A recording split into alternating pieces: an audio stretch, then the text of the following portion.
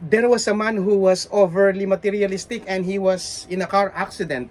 His red Mercedes was side swept by a truck and he was unconscious for a while.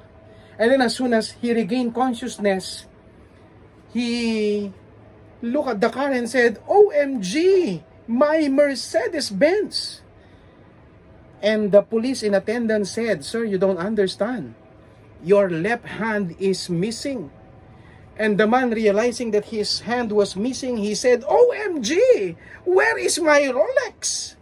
Now, the man, uh, at the last phase of his life, told his wife, you know, when I die, I want you to sell all my properties and put the money right there inside my coffin. And that day came. That day when he was being lowered down six feet underground. Now, one of the friends of the wife said, Don't tell me that you fulfilled your husband's wish. And the wife said, Yes, I did. In fact, I sold all his properties. And the money that I gathered and accumulated, I deposited it on my personal account. And then I issued a check of an equivalent amount.